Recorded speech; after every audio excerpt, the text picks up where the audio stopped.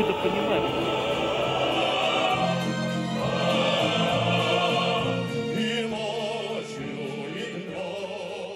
После продолжительных экспертных оценок Министерства обороны России решил отправить корабль под номером один крейсер «Аврору» на обследование и первоочередные ремонтные работы, которые планируется завершить в течение 45 дней.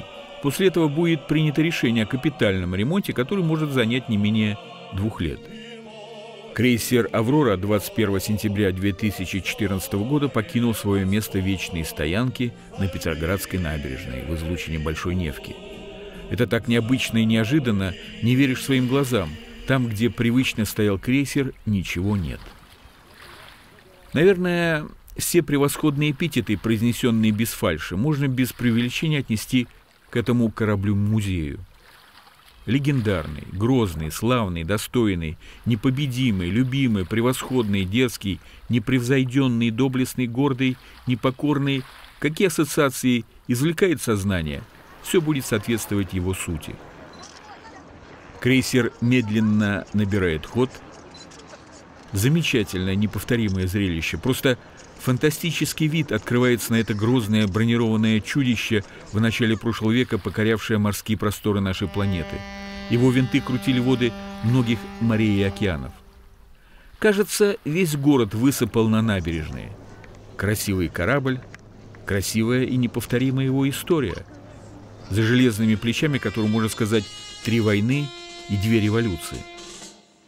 Итак, крейсер вырвался из цепких железных объятий своей вечной стоянки и медленно вышел на стратегический простор и уверенно направился, правда, в сопровождении буксиров на Кронштадтский морской завод.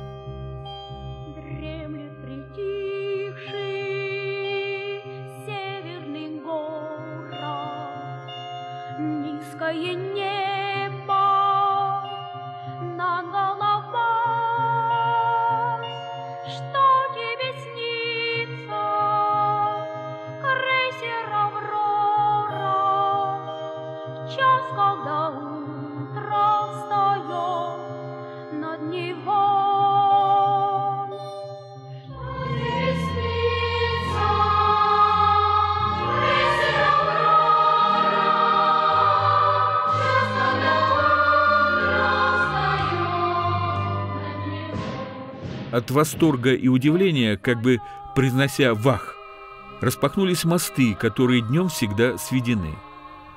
Горделиво, наверное, вспоминая свой первый выход, крейсер под восторженные возгласы горожан и гостей города продефилировал по Неве. Троицкий, Дворцовый и Благовещенский, остановив автомобильное движение в центре города, застыли в неописуемом восторге, воздев руки пролеты к небу. Это, правда, незабываемое зрелище. Те, кто сейчас принимает парад Авроры на руках своих родителей, потом, копаясь в своей памяти и в чувствах, будет вспоминать уже для своих внуков это событие. Уплыла, нам грустно без нее. Очень. Да, очень пустое место, и мы очень ждем ее возвращения. Возвращайся, Аврора. Пожалуйста. У многих э, этот крейсер ассоциируется с революцией, хотя это не так, потому что он участвовал в годы Первой мировой войны, вот, а также он э, частично участвовал в годы Второй мировой войны, э, когда сняли его орудие и расположили недалеко от Соснового бара на берегу Финского залива. «Аврора» — это легендарный крейсер, символ российского флота, один, единственный оставшийся с царских времен, который, естественно, надо сохранить для нашей страны, как память память о русских традициях, русских моряках, которые сражались и с японцами, и с другими врагами нашей страны. Символ чести и доблести русского флота.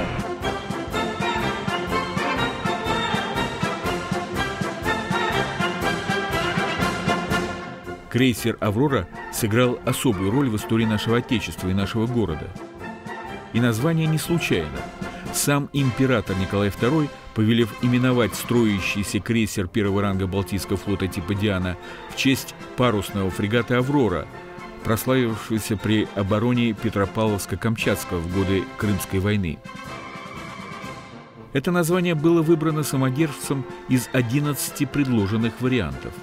О чрезвычайной важности момента говорит и то, что он со всей своей семьей присутствовал при спуске крейсера на воду в мае 1900 года.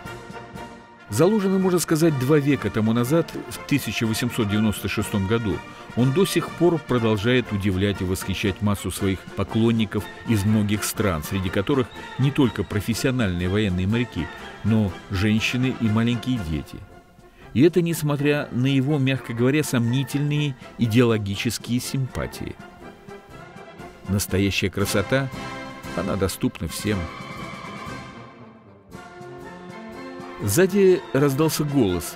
«Не плачьте, он вернется назад». В ответ женский голос «Извините, не буду, я на нем работал много лет».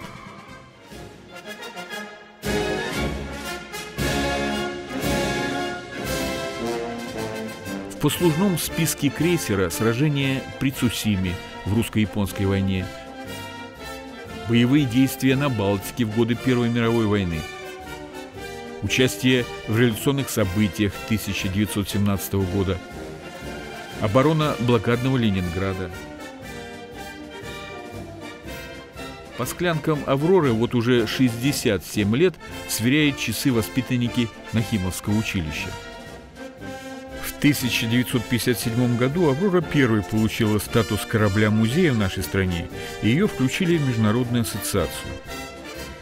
Надо сказать, что надводных кораблей-музеев только 9, два из которых находятся в Санкт-Петербурге. Это крейсер «Аврора» и ледокол «Красин». Несомненно, свою первую закалку крейсер получил при Цусимском сражении. Смерть командира и матроса, пробоины в корпусе, разбитые надстройки. Битва, ставшая большим унижением для России, потеря большой части своего флота на Дальнем Востоке. Во время Великой Отечественной войны снятые из крейсера орудия защищали блокадный Ленинград от фашистских атак. Страшен был огонь Ленинграда.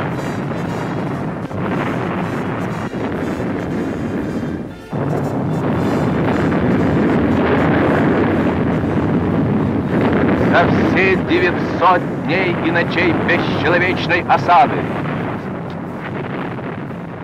И сейчас на «Авроре» принимают присягу моряки, для желающих устраиваются экскурсии разного рода мероприятия.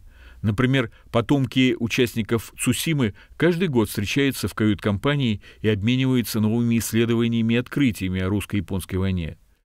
У судового иконостаса проводится панихида. В этом году ее отслужил протеерей отец Игорь. В ночь на 15 мая 1905 года именно «Авроре» вместе с крейсерами «Олег» и «Жемчуг» удалось оторваться от преследования противника и уйти в Манилу. Мы отдаем дань героям, погибшим сто с лишним лет тому назад. Все подвиги, которые совершают наши предки, нынешнее поколение, они должны знать, их должны чтить, их должны воспевать. Одним из постоянных гостей этого собрания был известный бас Борис Штоколов, закончивший Соловецкую школу Юнг. Гори, гори.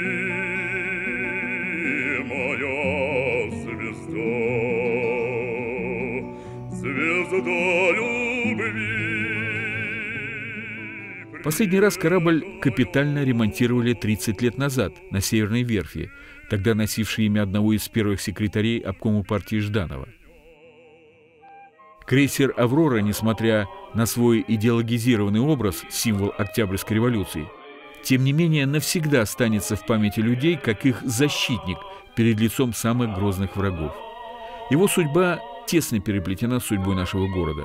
Он стал своего рода одним из основных узнаваемых знаковых элементов Санкт-Петербурга.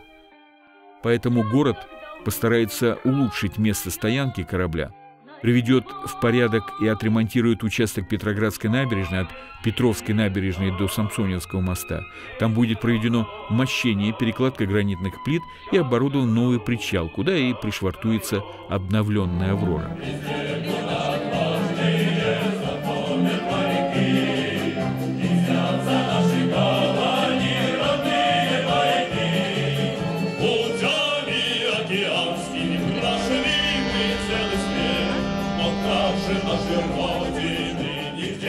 Свете нет.